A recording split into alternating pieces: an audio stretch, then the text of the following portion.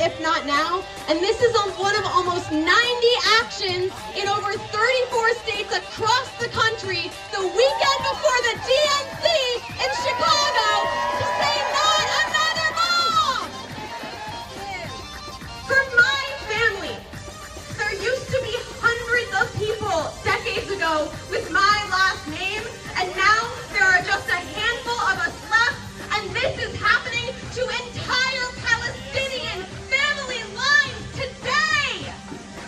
Veterans know the horrors of war better than most.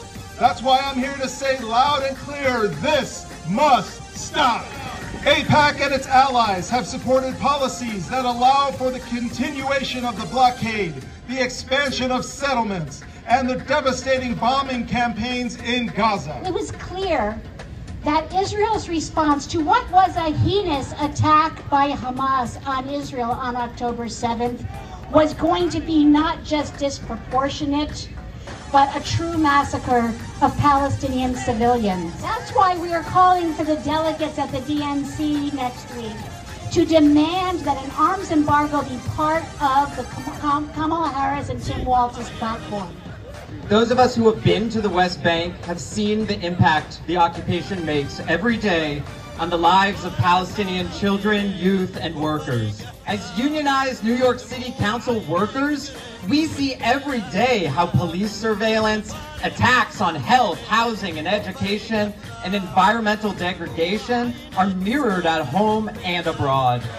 And the Palestinian General Federation of Trade Unions has called for us, their international union siblings, to expose the complicity of our governments in the war crimes committed against the Palestinian people and to apply pressure to halt military aid to Israel. In response this June, ALE became the first city worker union to endorse the divestment of our pension fund, NYCERS, from Israel. We are asking the U.S. to literally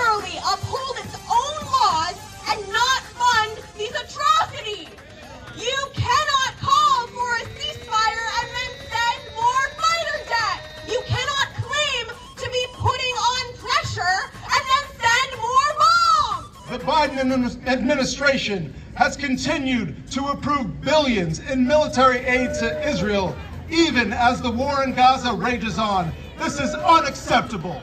Our government must send a clear message that Palestinian lives matter and that the United States will no longer be complicit in perpetuating the violence and genocide. יהי רצון מלפניך אדון השלום, שתדבר מלחמות ושפיקות דמים מן העולם, ותמשיך שלום גדול ונפלא בעולם, ולא יישא גוי אל גוי חרב, ולא ילמדו עוד מלחמה.